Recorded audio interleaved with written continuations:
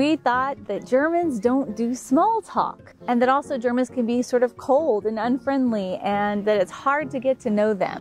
And at least in our small town, we have not found that to be true at all. In fact, even from when we first moved there and we're total strangers to everyone, there were still people that we'd pass by on the streets and still do today who make small talk with us. And Yeah. they, they talk about the weather and they talk about the temperature and how much rain is coming or how much snow is coming. And or what the what what vacation is, is happening or you know what you're gonna go and do on your vacation or whatever yeah lot mm-hmm. just yeah there's quite a lot of that goes on just chit chat yeah, just chit chat. They'll ask about the kids. Of course, when we first moved there, nobody knew we had kids and they didn't know us. But um, as time has progressed and we know our neighbors and we know people that we see in town, they're always asking us about the kids and uh, our family members back home and how is it going learning German and and this is all in German too.